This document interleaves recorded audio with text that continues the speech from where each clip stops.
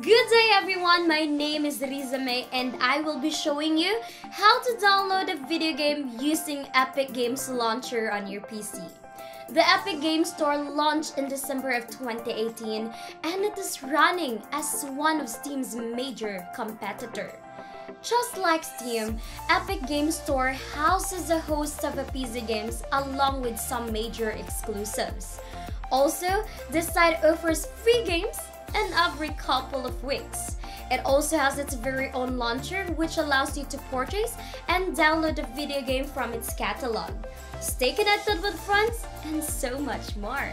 So if you're wondering how you can download a video game using Epic Games Launcher, here's a quick tutorial for you.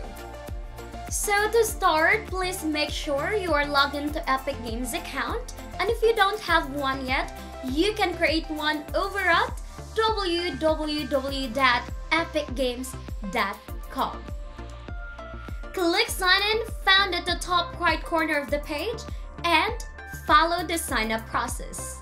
If you have not done so yet, download the Epic Games launcher by clicking Get Epic Games found right beside the sign up button on the Epic Games website.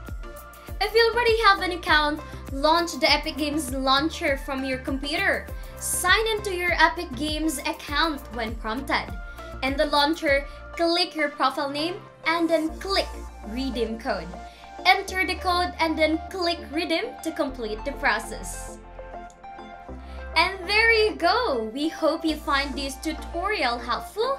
For the best deals on your Epic Games video games, check out our comparison site only here at allkeyshop.com. Thank you.